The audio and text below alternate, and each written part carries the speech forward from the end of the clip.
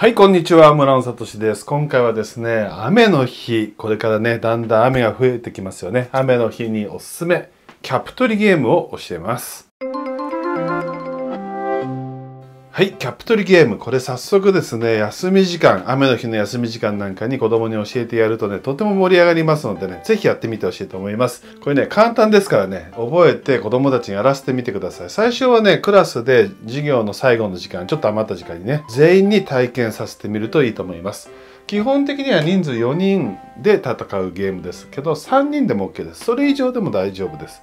まあ2人じゃなければ大丈夫なんですね。まあでも4人ぐらいが一番楽しいかなっていう感じはします。こっちの方に図を出しながらね説明もしていきます。でまず最初に A4 の紙1枚の上にキャップキャップですね。3個置きます。これ4人の場合は3個です。必ず5人の場合は4個というふうに1個減らします。4-1個になりますね。こんな風にねキャップを置きます。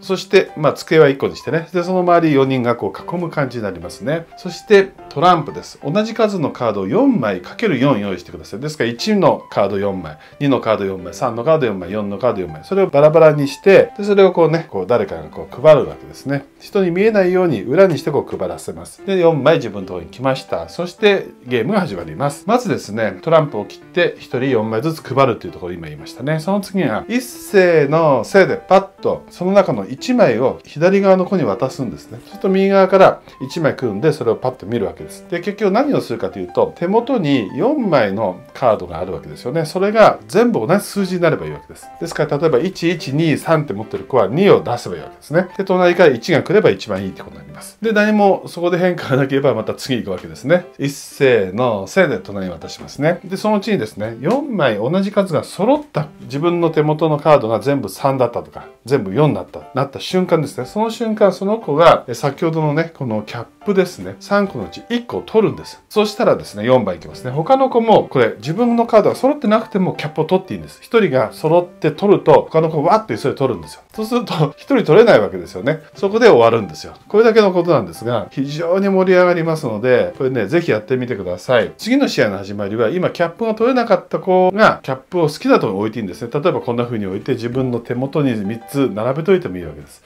まあ、こんな風に少し取りやすくしてあげて次の試合が始まるという形ですね。ですからまあ32人のクラスだったらこれ全でやるとしたらねキャップが24個必要になります。32人のクラスということは32割る4で8グループできる。わけですね。ですから8グループで3パ24個ですね。そして A4 の紙が1枚ずつですから8枚。そしてトランプは3セットあればいいですね。1から4のカード4枚ずつ。その次がね5から678、5から8のカード。